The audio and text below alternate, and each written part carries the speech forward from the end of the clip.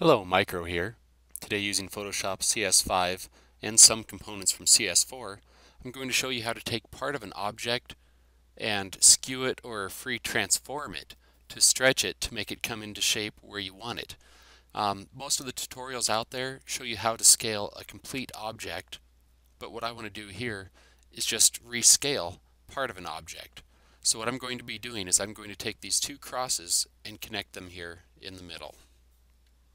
Now the first way I will show you how to do this is to use the free transform tool which is available in CS4 and probably older versions. So make sure that you have your layer selected over in the layers panel and then come up and click on the rectangle marquee or press M. And what we want to do is we want to draw a large enough box around the area that we're stretching to make sure that it's all completely included. And now you can press Control T or come up and press Edit free transform and it gives us our box. You hold down shift and click with your mouse so that you can drag and I'm going to go ahead and stop right there. I've got the ruler guide up so I know exactly where the middle is. Now you can simply press enter on the keyboard and control D to deselect. Now I'm going to grab my other cross with another layer.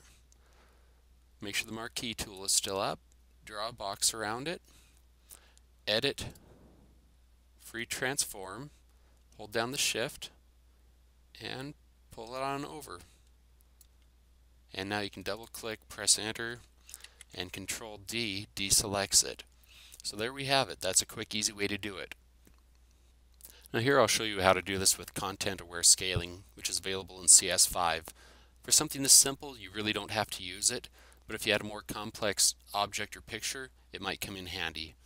So make sure you have the proper layer selected. Use the marquee again.